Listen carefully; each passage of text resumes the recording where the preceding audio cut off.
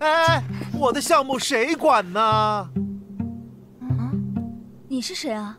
啊，你连我都不认识？你你看我不投诉死你！这可是匠心文化的吴总监啊！您消消气，这边请。会议室我们都准备好了。哎呦喂，这都什么事儿啊？走走走走走。接下来我要演示的是我们环奥集团为了匠心公司接下来文化创品的新的 PPT 方案。嘿，你脑子是不是摔坏了？叶子，你把江青主推的产品都搞错了。什么？我今天算是长见识，连主推产品你都搞错了。吴总监，对不起，您放心，您再给我一点时间，我一定如期完成任务。我给你时间，谁给我时间呢？我告诉你啊，这发布会的预案已经发布出去了，如果不能按时的履行这个方案，这损失谁来负责呢？都是误会，吴总监。吴总监，你先别生气。罗总他一会儿就来了，今天只是预演。你们预演都能把产品给搞错，正式方案能好到哪儿去啊？吴总监，咱们就事论事。哎，你你你你你！吴总监，抱歉，是下属不懂事了。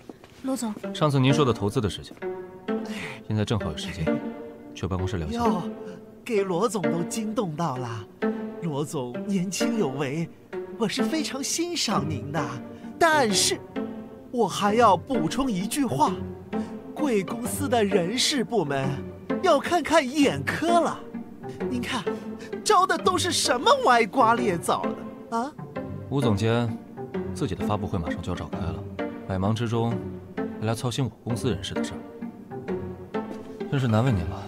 啊，不难为，不难为。既然二位有事要谈，不如先去办公室聊一下。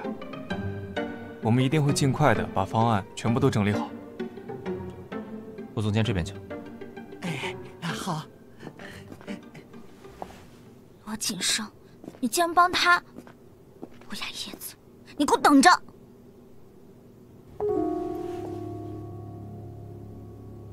你现在打算怎么办？我知道是谁做的手脚，我现在就准备新的策划案，但我担心……你担心他们是提前做好了准备，无论你阐述如何，他们都不会再和环奥合作了。嗯我有个主意，咱们分头行动。知道了。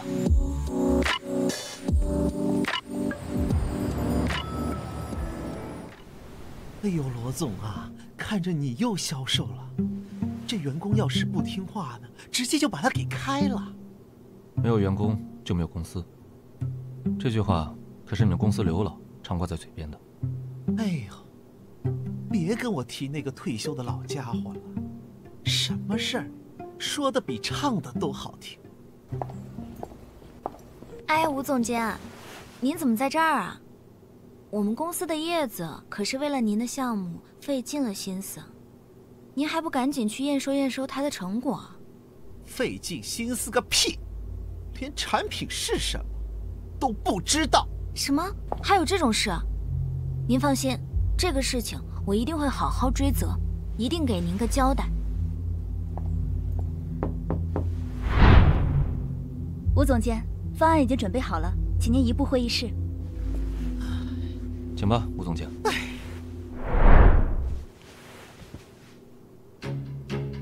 好了，快开始吧，你就十分钟。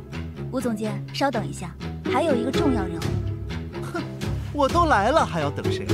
谁那么重要，还要我等？难道我不重要吗？